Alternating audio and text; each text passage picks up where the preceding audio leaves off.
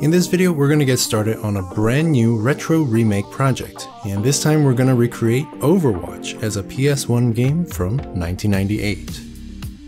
Retro Remake is a series where I take a modern game and recreate it in an older style, think PS1 or N64 era. Overwatch is a first person class based shooter, but since I had already made two other shooters previously, I wasn't sure whether I wanted to make another one. Overwatch has the character D.Va who pilots a mech, and so initially I toyed around with the idea of turning Overwatch into a mech game, similar to the Armored Core series on the PlayStation. Here's the prototype I built where I was working on basic movement and shooting. Things were going smoothly, but I just wasn't feeling very excited about the project, and so I decided to scrap the mech idea and do a first person shooter after all. The first thing any FPS game needs is a first person character controller, which is the thing you control in game. By this time I've made so many of these bean shaped beauties that it's pretty much second nature. Overwatch is a multiplayer game that focuses on team play and capturing objectives. Allegedly, because in reality it never seems to work out that way, but moving on. Since I was translating it into a single player experience, I had the freedom to change up the gameplay a little bit. The game has a character called Lucio, and what makes him unique is that he rides around on skates and can ride on walls. With that in mind, I thought it would be cool to remake Overwatch as a fast-paced single-player shooter with parkour elements similar to Mirror's Edge or Titanfall 2. In the first person perspective, the gun you're holding is called a view model.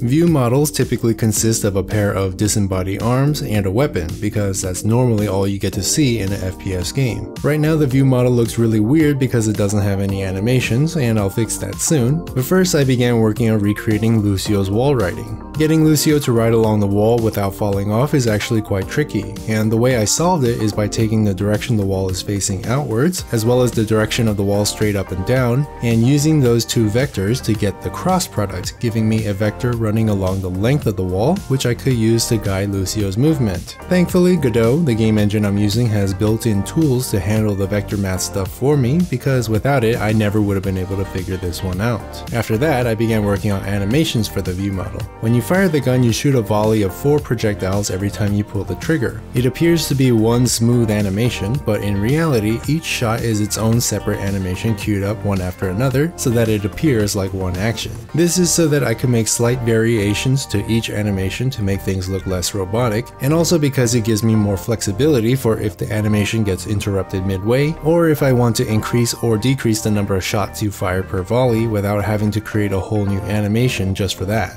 I also the wall riding animation a bit so that the camera tilts depending on which side of the wall you're on, and this is just to help make things feel more dynamic.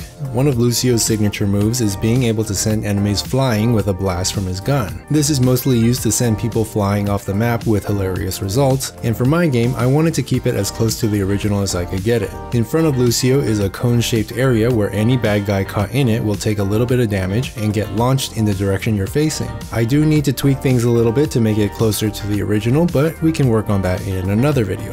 One thing I didn't mention yet is Lucio's speed boost. When you press shift, you and any teammates near you will gain a temporary increase in speed, which is a very powerful ability in Overwatch. You'll notice in the bottom right of the screen when I activate the boost, a cooldown timer activates, forcing you to wait before using the boost again. And this is mostly for balancing purposes since being able to boost your entire team around the map constantly would be terribly broken. Currently my version has a cooldown timer as well, don't mind the placeholder graphics, but I'm debating whether or not this is even necessary since it's a fast-paced, movement-based game and maybe it would be fun to be able to boost yourself anytime you want. Let me know what you think. Finally, we need to talk about Lucio's ultimate ability. In Overwatch, the ability is called Sound Barrier, and when activated, it gives nearby teammates a massive amount of extra shielding. This is especially useful for negating damage from other powerful ultimates in the game, and people refer to it as a defensive ultimate since it doesn't do any damage itself. While this is great in a team-based multiplayer game, I feel like it wouldn't be very useful in a single player setting against AI, and so I have a very different idea in mind for what Sound Barrier should do. But that's something that we'll show off in the next part of this series, so make sure to like, subscribe, and hit the notification bell so that you'll be notified when the video releases. Anyways, hope you enjoyed the video. I would like to get back to making shorter, more frequent videos again, and I have a lot of exciting new ideas in mind, so expect to see more videos coming out soon. Anyways, thanks for watching and have a nice day.